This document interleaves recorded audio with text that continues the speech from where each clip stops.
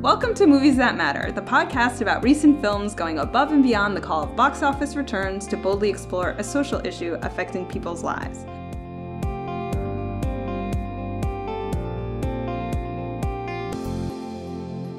I'm Nicole Finari. And I'm Garret Schellenhammer. And what movie are we going to overanalyze this week? White Boy Rick. Okay, so set in 1980s Detroit at the height of the crack epidemic and the war on drugs, White Boy Rick is based on the true story of a blue collar father, played by Matthew McConaughey, and his teenage son, played by newcomer Richie Merritt. Rick Wershe becomes an undercover police informant and later a drug dealer before he's abandoned by his handlers and sentenced to life in prison. What did you think? Uh, wow.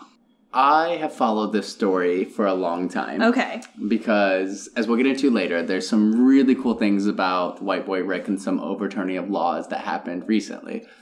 But overall, as a movie, I was so disappointed in this movie.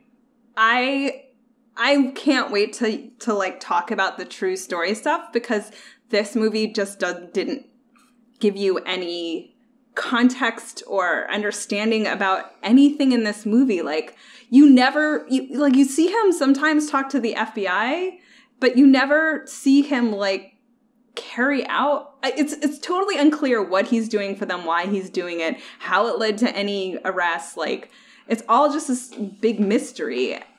I went in with high expectations for the story. I was not going in for the acting, I'll be honest. I was not going in for anybody in this movie other than to see, like, oh, how have we told his story? Mm-hmm.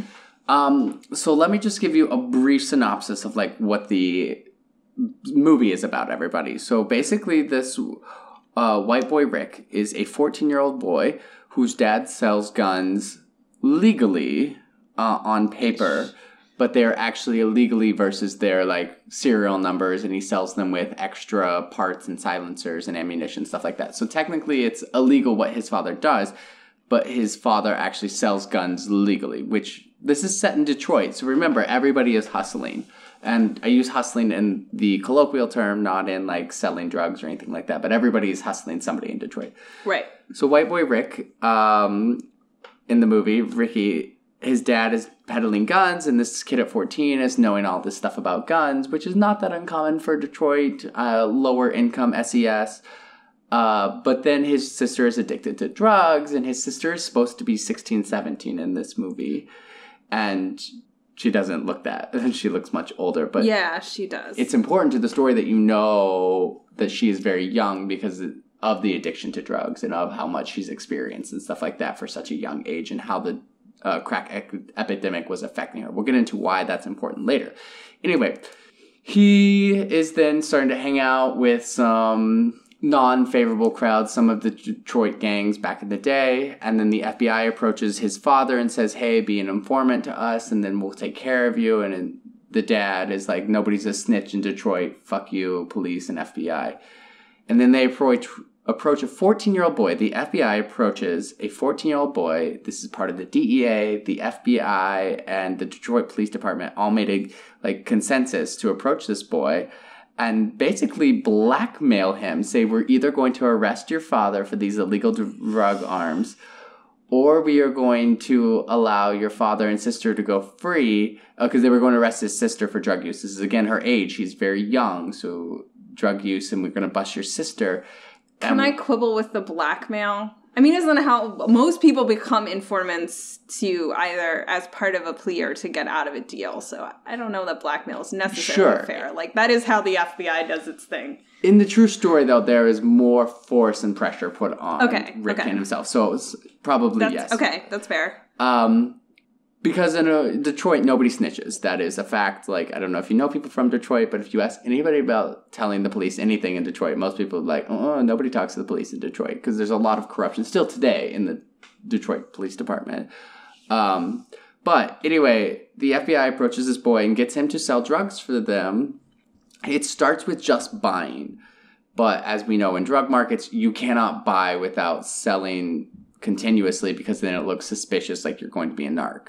So, so that, but see, and that part like wasn't at all clear in the movie. Like one day, the FBI is like, "Now we want you to start selling drugs," and I'm like, "What?" that's crazy town. Like, who made this decision? How was this decision made? Like, there's just. I, I, I think the movie, like, I, I try to give it credit for, like, maybe wanting to tell the story solely from his point of view and his perspective. Like, he didn't know any of the backstory of this. But leaving out all of the mechanics of what he's doing just made for a very baffling No, I circumstances and it was like, yeah, I mean, I'm it- totally on board with that because like, why? Why would they do that? sitting there in the theater, uh, And he's 14. right, the cut shots, it just bothered me to crap. But the cut shots is literally how I feel like the movie was shot. Like, here's the scene, here's the scene, here's the scene, here's the scene. Missing the connecting between the two. What's happening in the story? What's happening with the characters? Why are we doing this? Why are we doing that?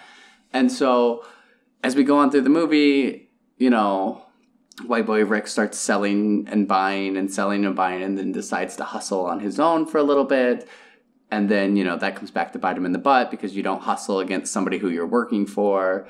Yada, yada, yada. We move on to the storyline. He ends up getting shot because he is not deemed trustworthy by uh, the drug dealer he is working for. Which, frankly, he's not. And, right. sort of like he gets It's, shot for being an informant, and he's an informant. But Am they I don't, supposed to yeah. feel bad about But they don't actually know that. It's all a perceived. You have to. He gets a arrest for a Yeah, he gets This- out of a arrest really easily. Yeah, he gets a possession charge for having a gun. and it's suspicious, like how he's like super out of jail right away, and they think he's an informant, which is literally what happened. And I was like, yeah, that's about right. Um, so then his dad and him decide that the only way for them to make money and save his sister is to start selling drugs themselves. Right. Which just becomes this crazy warped idea as a parent. Like, the only way to save my family who's on drugs and addicted to drugs is to sell drugs. Okay, great. Um, and so at the end of Which the movie. gives you this like terrible third act of them becoming drug dealers and like Yes. I mean, the movie was just a hot mess. I, I and so here's where the true story comes into play.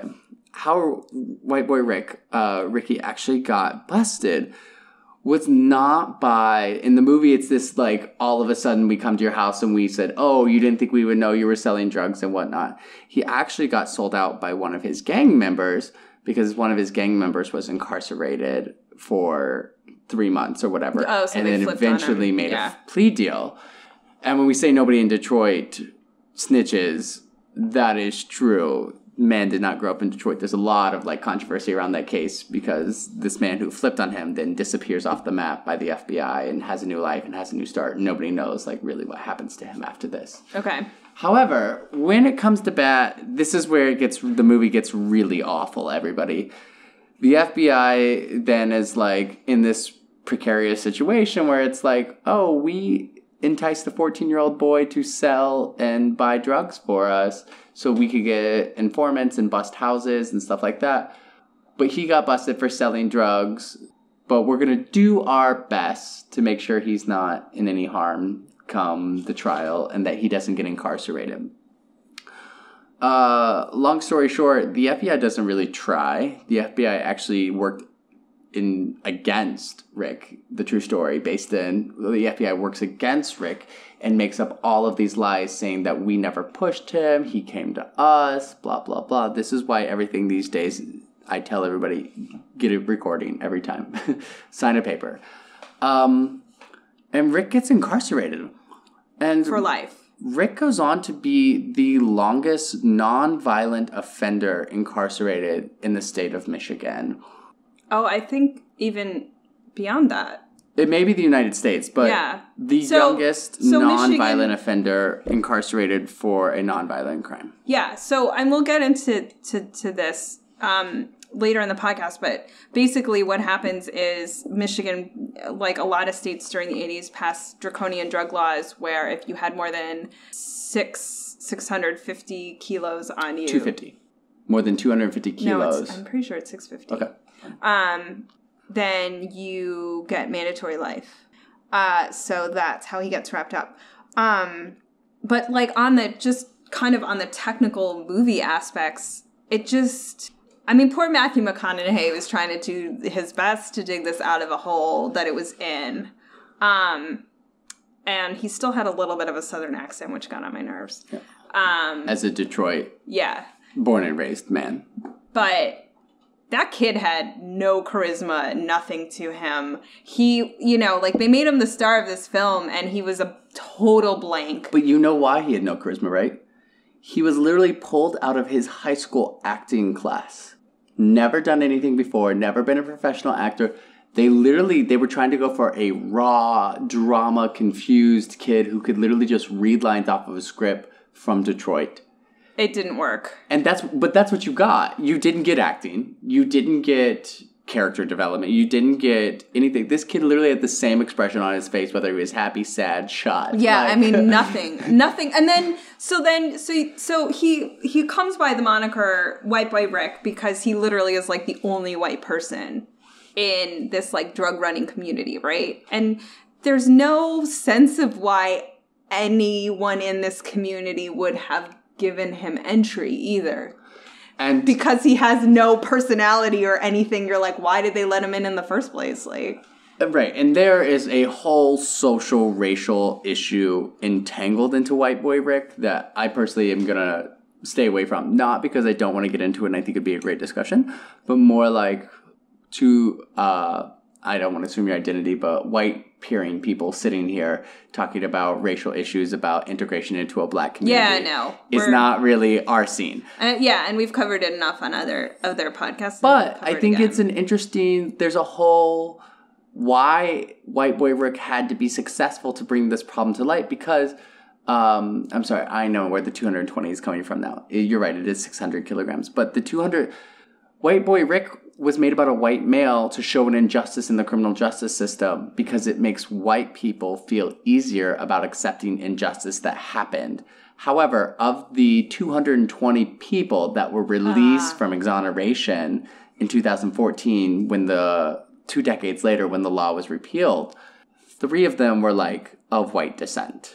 okay And so we then decided to make a movie about that to make it more comfortable for white people to understand injustice in it because and that pissed me off more than anything. I love the story of White Boy Rick, but the whole point of the story was this man was incarcerated for 20 something years. I mean, I feel like the whole point of the story was the FBI recruited a 14 year old to to like buy and sell drugs. and like, then sent him to prison. Like, like, so yeah, I don't go see this movie. yeah, and so I mean, there's just there's a and because the kid can't act, there's a lot of like dramatic music scenes. Like the score of this movie didn't match anything that was going on visually. I was like, when you have these dramatic like classical music moments that have like nothing, I was like, what is? Ha- you're trying to generate an emotion, but the kid's not a good enough actor, and I don't know what I'm supposed to be feeling. And this movie is, or this music is totally different from the the visuals itself. I was like, the score was very jarring. I well, just and I was counting, there's like five subplots in this, and none of them got resolved. There's a subplot about his sister being a drug addict. There's a subplot about his grandfather having Alzheimer's. There's a subplot about his best friend being an African American male in the 80s, and there's no racial tension between him and anyone else. There's a subplot about this 14 year old, 15 at the time, having a child. We get no resolution really with his daughter. And there's a subplot about his oh, and the daughter. dad. Like, so this was so funny. Like, and all the like random things. Oh, and there was a lot of shaky cam. I really dislike shaky cam because it makes me sick. Um, but there is a moment like so. There's a moment where um his sister and his baby daughter, who's like I don't know. Eight months, nine months at that point, are visiting him in jail. And I swear to you, if you go back and look, the, I think the baby waves to the boom operator. Because there's a moment where the like baby looks up and then just waves at somebody, and I was like, because I'm so disconnected and unemotionally engaged, I'm like, did that baby just wave to the boom operator? Like, so bad. I literally thought we were going to, this movie was going to take two parts. One, be the story about how he got incarcerated, and two, about his 20 year stint and what happened during that time.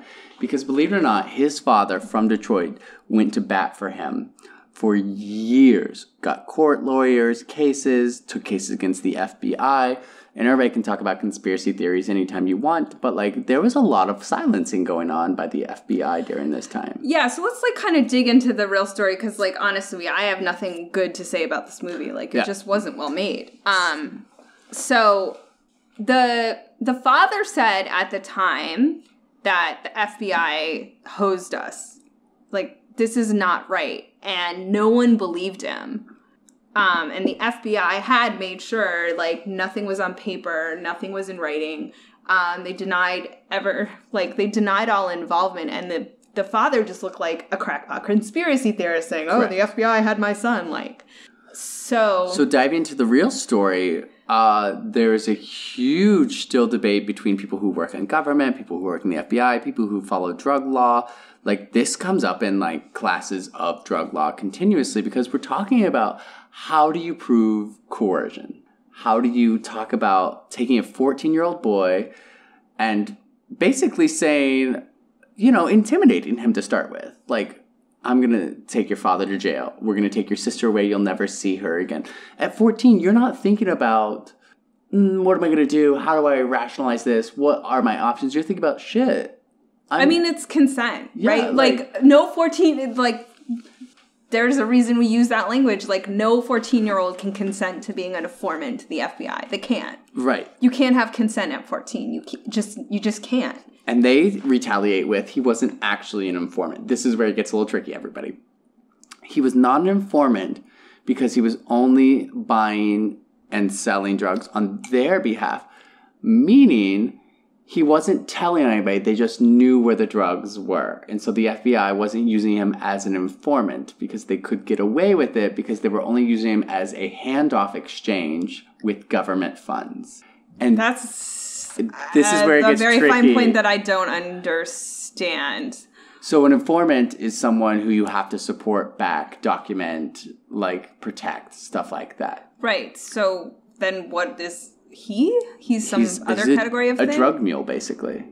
He's not an informant because he's not telling them where he's buying the drugs, what he's doing. He's just letting them know I bought and sold drugs at this place, not who was there, not what they were doing. It becomes a very fine line of like Okay. and we're sounding like conspiracy theorists. I know it's weird, but like this is how the FBI writes him off in saying he was basically just doing what we asked. He wasn't telling us any information. okay. And so then the FBI like is like, well, we taught you how to do this, but you never should have done it on your own. But this is the the, the point. If he was only doing it for the FBI, they should have kept the money, allowing a 14-year-old boy to make in Detroit in the 80s $9,000 and like and you know, the movie says kingpin drug 14-year-old. That's not true. He didn't become a drug kingpin but he did become a very wealthy 14 year old in the 80s for you know $9000 in like three months and that's a lot of money for detroit especially I just it again, it's it's just it it's it's baffling to me. It is absolutely baffling to me that adults were involved and anybody thought that this was a thing that they should do. Like I just I don't I don't understand like how how this happened. Like what and that I, I I'm just astonished. Like it, it it's and you can see why no one believed his dad because it's astonishing, like that they even did it in the first place. absolutely and the movie does not do the original story any justice because No. A lot of what the movie should have focused on is the time that I think the incarceration would have been a better idea because his dad filed petitions. He met with the FBI. They were in court. Evidence was presented. Judges were denied. And there was a lot of like lean back from the FBI saying, like, we had no involvement in this. We didn't teach him how to sell drugs. We asked him to do stuff for us, not teach him how to sell drugs. And what, in all reality, people like, go look it up. The history is there online as much as you want to read about it. The FBI took advantage of a 14 year old boy's immaturity, emotional intelligence, personal intelligence, and really said, hey, you can choose. Never see your family again or do us a favor. And it didn't matter if it was one time or 19,000 times. Once they, he had done it, he was committed to them. Because then the FBI then howled over him everything like, hey, I will tell everyone in this neighborhood that you're part of a narc. So it becomes a double edged sword where, like, my life is no longer safe. I have to work both sides because if I don't, I'll be called a narc and I will be killed. If I say no to the FBI, if I say no to my people, they'll wonder why I'm out and Right. also want to kill me. So this becomes a very 1960s through 2010 Detroit era that we saw a huge number of people die from drug related incidents that were not drug overdoses, from suspicion, narking, uh, mistrust, misuse, losing money.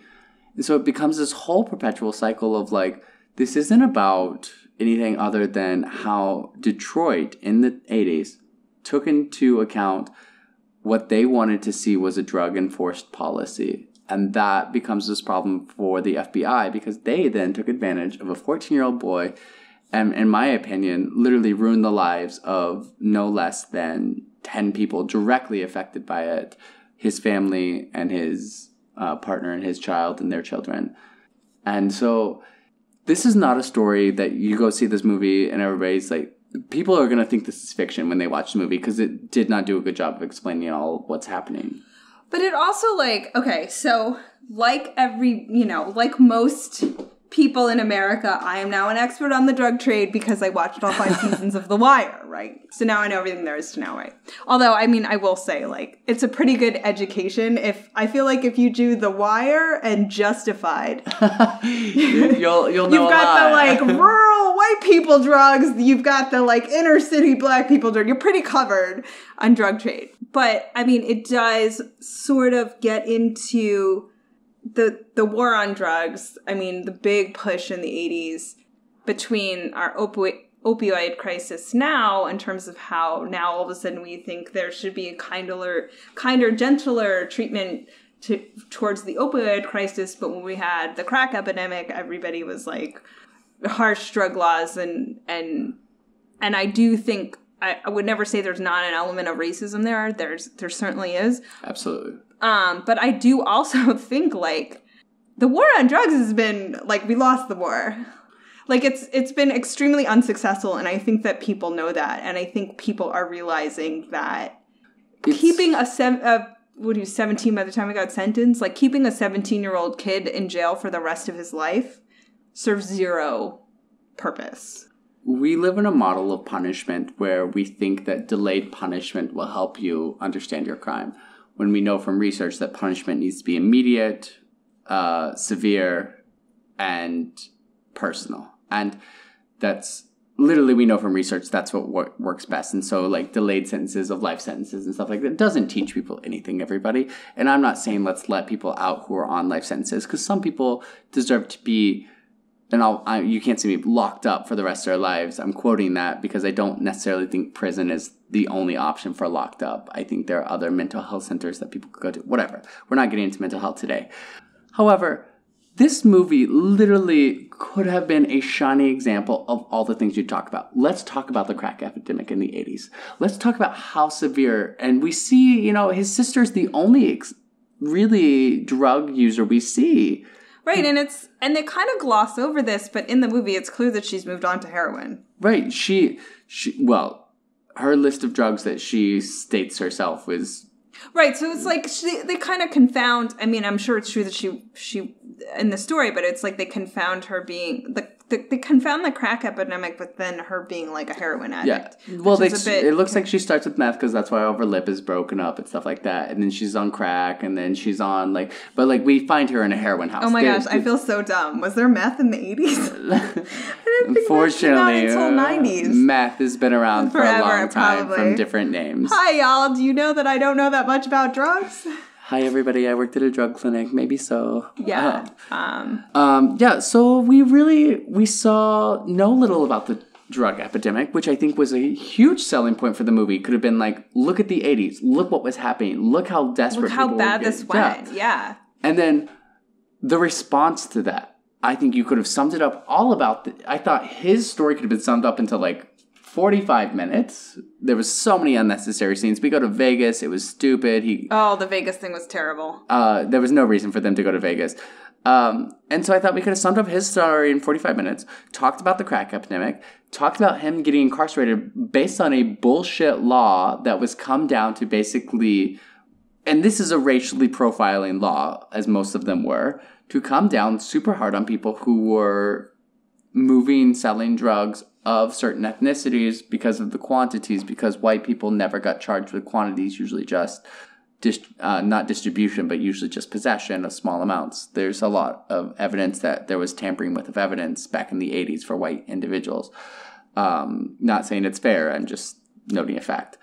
And then moved on to 20 years in prison. This kid never gave up hope, never lost end to, because he was in solitary confinement most of his time due to his racial differences because he they thought he was a narc.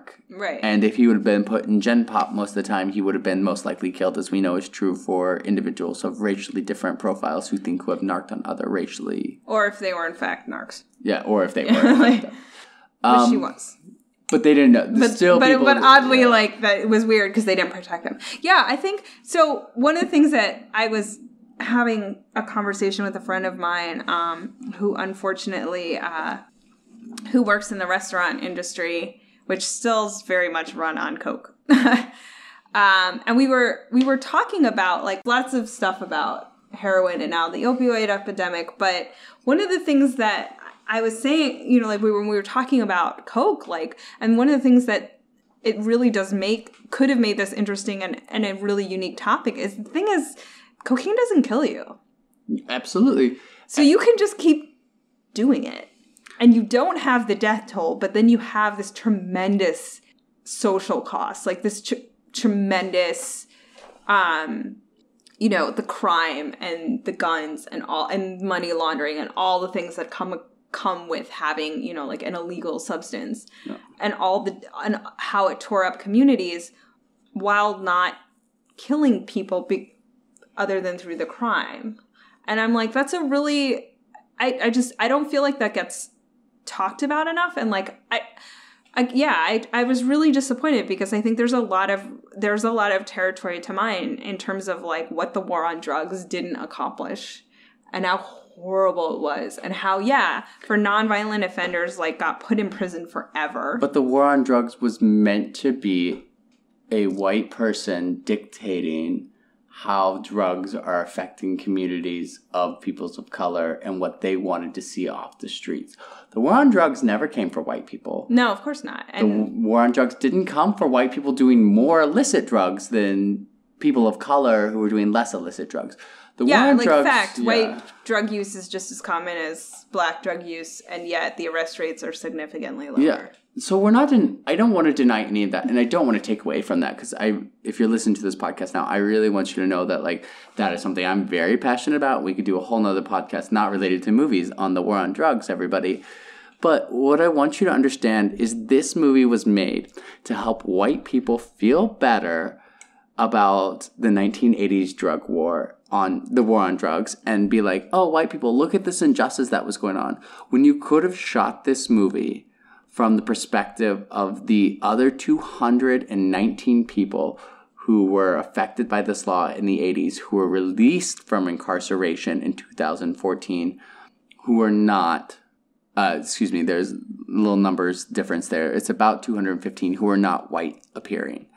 So this didn't affect primarily white people, but we made a movie about White Boy Rick because it's easier for audiences to digest and white people to understand that this happened and injustices aren't happening because a white person experienced it. Versus the true story is those 215 individuals who are people of color, most predominantly African American, who experienced being caught up in a 1980s law that was passed by the war on drugs to help white people feel more safe and better. And that's bullshit. Uh, and I think that this movie missed the whole mark on being able to nail anything about that and instead wanted to appease audiences with a story. And the only reason he gets more attention than anybody else on that list is because he was the youngest offender. However, the next youngest offender was African American. And the offender after that was African American. I could go on and on and on saying that these are not these this movie was to prove a point. And I think Rick's story is amazing because it does go into a lot of depth about how if you actually look at his incarceration, how well he survived and how well he kept it together mentally, but also how well his father fought for him every step of the way and he still wanted to be engaged and all this. And we could talk about all the great things about Rick. But I think what it missed is being able to say this is not just affecting him. This is affecting more people than we know. And two decades later, we reversed a decision to improperly incarcerate individuals because we were upset with how drugs were moving through communities in Detroit. Yeah, I think to me, I think the, story to me, which would have, if you wanted to tell the story, I, I didn't, I don't, I didn't take the message quite so harshly as you did. Um, and I think it's just a matter of interpretation. I'm not saying you're right and I'm wrong or vice versa, but to me, I thought this movie was really going to be about like, again, not only did the drugs and the drug trade tear through communities in really, really, really damaging Absolutely. ways, but and then the draconian drug laws again, you know, just just create this you know overpopulation that we still have in our prison system. But it also led the cops to do or n- cops, not even like law enforcement. Like, I mean, C- the CIA has got his real hands dirty with buying cocaine. Like, mm-hmm. You've got the CIA, the FBI, the Detroit police, like you said. Like, look at all the things that law enforcement was doing in the name of the war on drugs that was so unethical, unethical, unconscionable, like just so beyond the norm of what anyone can justify as being okay. But they thought at the time they were being righteous. And in the movie, the best redeeming quality I had for that is the FBI was portrayed by two white, one white male, one white female individuals who were dictating the shots of how the war on drugs came about. And I thought that was the best piece because they included then a police officer A who- Detroit, yeah. who was African American, and he was the realest person in the whole movie to me. He didn't want to take the kid's attitude. He wasn't really for the idea, but he was being pushed by the FBI to do this. And there's a lot of history there with the Detroit police and cooperation and collusion, and you know, Yeah, I mean, part of so part of what he does is bring down the Detroit police. yeah. Like that is why the FBI is involved, because they know the, the Detroit police are corrupt and they're trying to catch the dirty cops. Then we all know I hate cops. So if anybody's listening, you know, Detroit police today may have their problems. They are doing a better job than they've ever done before. So I want to salute that. But as with every police department, there's always problems. Nah, I just not. I'm anti law enforcement. law enforcement, the military, and someday I promise the other Garret we're going to do a podcast about why I hate doctors. Um, I yeah, and so I think I think that this is a story that needed to be told. I think there's still so much more to come out of it. Like this is one random kind of little event, but they don't. But this could have been told as a mockumentary. Um, you know, it can't be told as a documentary because Oh my god, that would be so weird. But like, you know, I'm just trying to wrap my head around that idea. Like, it's I don't mean it in like a satirical way, but like it can't be told as a documentary so much because like his dad's dead, like, you know, his grandparents are dead. Like there's not a whole lot of people still living who remember everything that was going on. So I, while I'd love a documentary, from Rick's point of view, he's 14. We know that 14 year olds aren't the best historians either. So I would love, I wanted more. I wanted, I didn't want Matthew McConaughey, Mud, Dallas Buyers Club character coming to Detroit because that's exactly what I got from yeah, him. Yeah. I didn't want a kid who had never had any acting experience, who didn't smile pretty much the entire Yeah, that kid movie. stunk. I didn't want. I, th- I thought the sister had the best acting throughout the whole thing because the two English people in this movie nailed the Detroit accent better than I was like. I wanted more from Rick with the integration into the African American community because I think that's a piece we missed in the movie. It just all of a sudden was like, hey, we're all of a sudden friends. When that's not how the true story goes. The true story says Rick went to the same I assume they met in school, but they never tell you. Right. He met a guy in school who told him to come see the guy he was working for. Right. So there's this whole building of relationship with somebody uh, in the 80s of a different color in Detroit, which is a huge deal. And I think Yeah. we should have hit on that more. Um, but what this movie missed was plot, character development. The cinematography was awful. I literally sat in a dark movie theater wishing there was more lights just so I could see half the film. Oh yeah, and then the use of gray gel is like, we get it. Detroit is depressing. Thank you very much. Like you're not the first person to portray it that way. And as bad as Detroit is, they portrayed Detroit in the 80s as like literally a war zone sometimes. Like we were looking at houses and stuff like that. And as bad as Detroit is, it's like okay, Detroit also has some good pieces. Don't just focus. We only saw pieces of like broken I'm making this total face of skepticism because I've been through Detroit and that was that like the vacant lot thing is real at circa Sure, like in like the 2000s, not the 80s. No, I I think anyway. Um but also it was Cleveland so it was Right. yeah. Um but I think that you bring up like the I think the real flaw that we both agree on, however you want to characterize it, is it tried to tell like one person's story who got, you know, swept up in a bad situation and paid a huge cost for it when the better movie and the better story and the real interest of examining this one person's story is to show the systemic problems that were at work I agree. and they didn't know how to do that and so then they sort of kind they kind of just make it again oh two rogue fbi agents who f this up and you're like they just they they they gloss over all the systemic stuff other than some like ridiculously heavy-handed race things which were horrible. Which literally we could do a whole podcast on, but I would need a third party to be here because I just it it, it just no i mean yes mind. but also as a white person like it was really ridiculously heavy-handed race stuff and i was like this is annoying and you're not doing these people any service by just being like you know if a black person got arrested this would have gone really differently. Like thank you. That for that cogent deep analysis of race relations in detroit in the 80s really appreciate it As we said before, we are not the people to sit here and talk about racial issues as two white appearing individuals. So that's a whole conversation for another time. I we would love to hear from you in the comments and reach out. We are more than happy to engage in dialogue with that. But it's the whole movie was just a letdown from what the amazing turnover of a law two decades later of a draconian drug law in the 80s overturned and then Rick is now out and free. What they don't like, they literally blurb you at the end of the movie narratives like, this is what everybody's doing. Dad died, Rick's out.